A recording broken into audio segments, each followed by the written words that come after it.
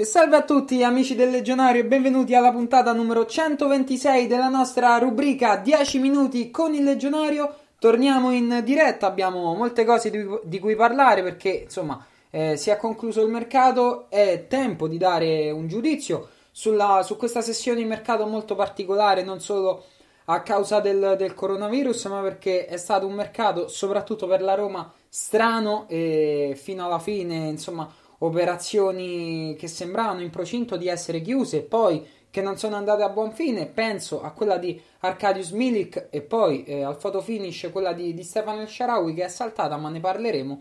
Una Roma che ha sfoltito molto la rosa, è stato fatto un buon mercato in uscita, anche se non sono stati piazzati alcuni esuberi come eh, Fazio e, e come Juan Jesus, che quindi rimangono in rosa e rimangono quindi ehm, ai noi sul, a bilancio, sul bilancio della Roma, pesano sul bilancio della Roma, entrambi prendono insomma una bella cifra per il ruolo che costituiscono in questa squadra. Penso soprattutto a Juan Jesus che costituisce un, uh, un ruolo marginale in, in, questa rosa. Basti pensare che Fonseca lo ha escluso dal progetto tecnico. Fazio, secondo me, tro- troverà spazio quest'anno. Non ha il posto da titolare, insomma, però considerando che la Roma gioca su tre fronti, considerando che eh, speriamo il meno possibile giocheremo insomma qualche partita senza eh, qualche difensore perché eh, lungo la stagione le partite sono, sono, molte ci sta magari tra infortuni diffidati insomma che eh, qualcuno non ci sia per cui credo che Fazio qualche partita la giocherà come lo scorso anno. Jesus insomma lo vedo proprio escluso completamente dal, dal progetto della, della, Roma, anche se entrambi sono stati inseriti nella lista per l'Europa League da, da Paolo Fonseca. Comunque, eh, considerando anche il ritorno di Smalling, un'operazione incredibile.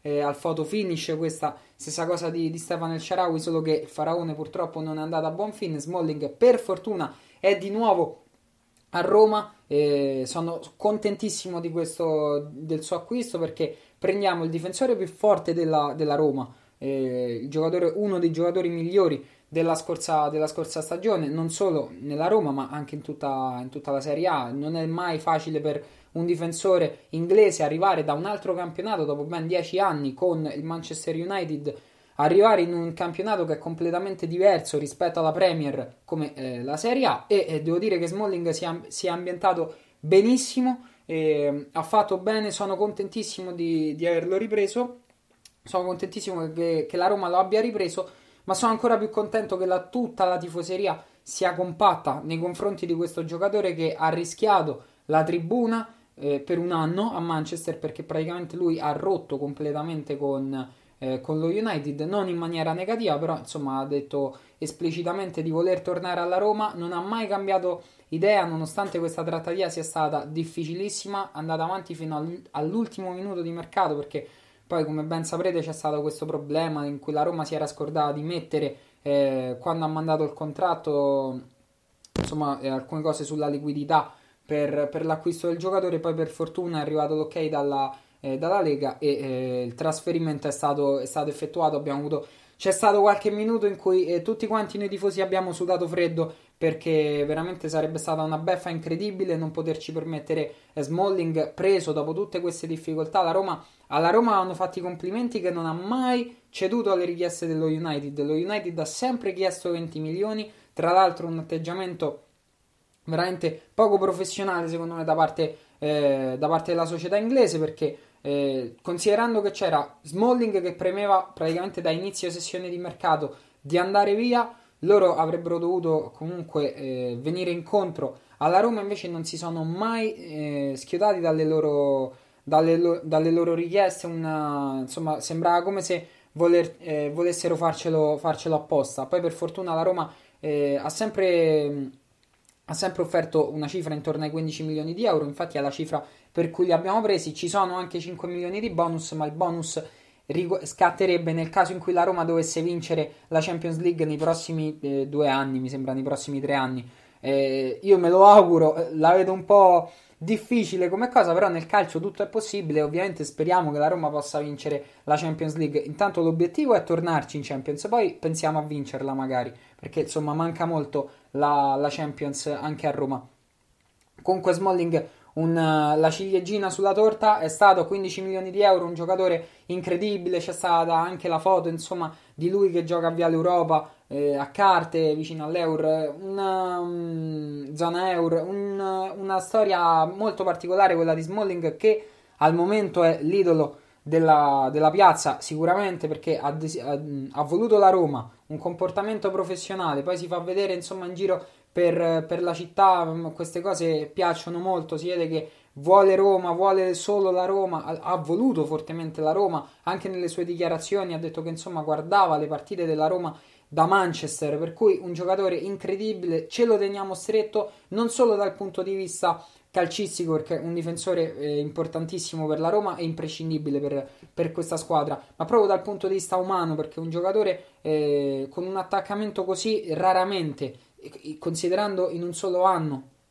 eh, Smalling ha avuto questo attaccamento alla squadra, alla città eh, e ai tifosi è incredibile, quindi credo che eh, raramente ho visto la piazza così unita nei confronti di un, di un solo giocatore. Basti pensare che c'era, c'erano diverse persone ad, ad aspettarlo a Ciampino quando, quando, è tornato che gli hanno riservato il giusto tributo a un giocatore che sicuramente farà la differenza anche quest'anno in questa squadra. È un calciatore imprescindibile. Altri acquisti: Kumbulla, Borca Majoral e, e Pedro, una Roma che ha speso 19 milioni di euro in questa sessione di mercato, risparmiati e ha, ha incassato 45 milioni di euro dalle varie, dalle varie cessioni. Personalmente, se dovessi dare un voto al mercato della Roma, considerando l'acquisto di Smalling che ha salvato un po' insomma, il mercato, eh, do un 6 meno perché è vero, Roma ha, la Roma ha preso eh, 4 giocatori forti in, con Bulla in, in, prospettiva soprattutto, ma un buon giocatore.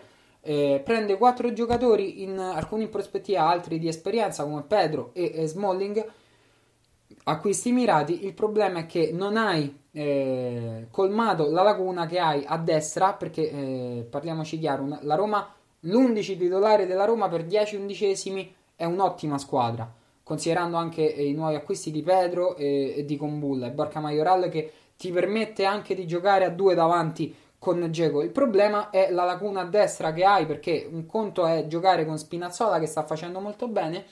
A sinistra, a destra hai Santon, Bruno Perez e Karsdorp. Ecco, Karsdorp a mio parere tra i tre è il terzino più, più preparato, più, più, forte. Il problema è che eh, fisicamente è molto fragile e con tutto il rispetto per Santon e Bruno Perez presentarsi insomma appena si alza un po' l'asticella sono giocatori che non sono sicuramente da Roma. Ecco, secondo me la, la società avrebbe dovuto intervenire in, in, quel ruolo, colmando questa lacuna. Beh, ci ritroviamo con questi tre terzini. Speriamo facciano bene. Io, ovviamente, vestendo la maglia giallo-rossa, loro hanno il mio il massimo appoggio, però purtroppo hanno dei, dei, dei limiti che sono evidentissimi. E per quanto riguarda la zona eh, esterni, eh, tre quarti. Dobbiamo dire che la cessione di Perotti è stata giusta, eh, l'acquisto di El Sharawi avrebbe sicuramente dato un voto in più al mercato della Roma, avrebbe rinforzato di molto la squadra. Non capisco però le cessioni, la cessione di Perotti è stata giusta perché ti pesava tantissimo a bilancio, è un giocatore che purtroppo fortissimo, che ringraziamo per la professionalità perché ha dato tantissimo alla Roma. Il problema è che purtroppo eh, fisicamente era, era, era praticamente a pezzi e non eh, era sempre fuori, non so quante partite abbia giocato lo scorso anno, però poche e quindi è stato giusto cederlo. Non capisco la cessione di uno dei due tra Under e Clivert, cioè potrebbero essere giuste come cessioni, il problema è che la Roma non ha preso nessuno per, per rimpiazzarli, quindi lì ti trovi con Pedro, Mkhitaryan, ragiono eh, in un'ottica 3-4-2-1, lì ti trovi con Pedro, Mkhitaryan, Carles Perez, Zagnolo quando rientra, però insomma fino a gennaio sa- eh, sarà fuori Nicolò e all'occorrenza Pellegrini che però è stato spostato in, uh, in mediana. Anche in mediana abbiamo Veretù, Diavara, Cristante e eh, Villar. Ecco, qualche, qualche, alternativa c'è. Centrocampo, non, centrocampo sinceramente non mi ha mai preoccupato più di, più di tanto. Eh, certo, se avessimo preso Torreira sarebbe stato un grandissimo acquisto. Mi preoccupa più la, la tre quarti, ma non per, perché la qualità c'è. Pedro, Mkhitaryan, Carles Perez anche mi piace molto. E all'occorrenza Pellegrini può giocarci. Il problema è la mancanza di uomini lì. Quindi avrei tenuto uno tra, tra Under e Clivert. Però insomma, eh, la società ha fatto le, le sue valutazioni sicuramente insieme all'allenatore e speriamo che la squadra sinceramente mi intriga molto. E, ehm, speriamo che la Roma possa fare bene quest'anno. Ci sono già molti, molti problemi, come ben saprete, tantissimi contagiati in, in Serie A. C'è stato il caso del Genoa. E ehm, anche in questi giorni nell'Inter ci sono dei, dei contagi. Tra l'altro, dobbiamo dare una notizia molto importante perché questa mattina è uscito fuori un, uscito il comunicato in cui ci sono tre positivi in casa Roma eh, tre ragazzi positivi dell'Under 18 che sono stati a contatto a quanto pare con eh, alcuni giocatori della prima squadra. Credo sia stato fatto un allenamento insieme, a, insieme alla prima squadra, per cui lunedì ci sarà un nuovo ciclo di tamponi per la Roma, sperando che non ci siano, non ci siano positivi. Si è parlato molto in questi giorni della continuità del, del campionato campionato secondo me si deve giocare, insomma l'abbiamo visto anche con, uh, quando era iniziata la pandemia, poi è stato sospeso, è stato fatto di tutto per, per farlo ripartire perché eh, c'è un'industria praticamente da, da, mandare avanti, quindi si farà di tutto per, per continuare questo campionato. Ovviamente eh, il problema è che con tutti, questi, con tutti questi positivi è molto difficile pensare a una, a una continuità del, del campionato. Personalmente non sono d'accordo con...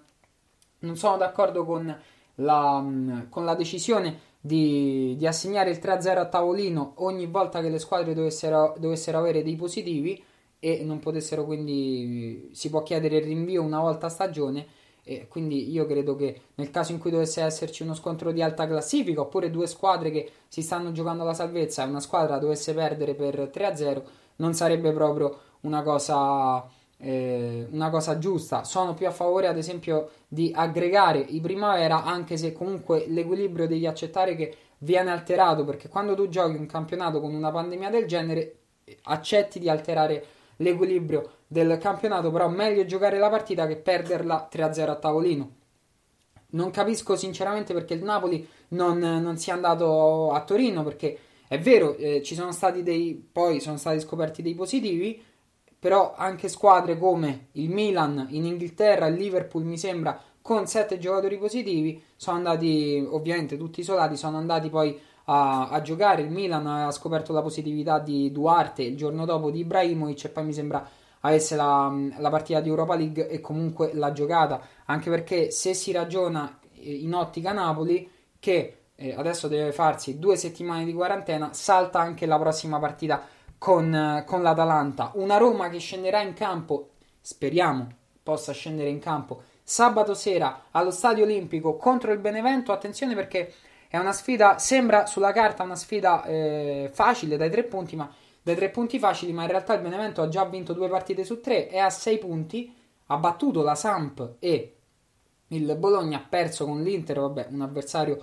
completamente fuori portata per, per il Benevento, una Roma che ha l'obbligo di vincere dopo e di continuare questa scia positiva, questa striscia positiva dopo la vittoria di Udine, eh, sperando di, di, ritrovare anche i gol di Edin Dzeko che mh, mm, non ha fatto troppo bene in queste prime partite, speriamo possa, possa sbloccarsi il bosniaco e prendere un po' di fiducia. Detto questo, noi ci sentiamo settimana prossima ragazzi, vi invito a seguirci su tutti i nostri social, su Instagram, su Facebook, su Twitter Iscrivetevi al nostro canale YouTube e seguiteci sulla nostra radio. Mi raccomando, leggete tutti i nostri articoli www.illegionario.info. Un saluto a tutti e sempre sempre Forza Roma.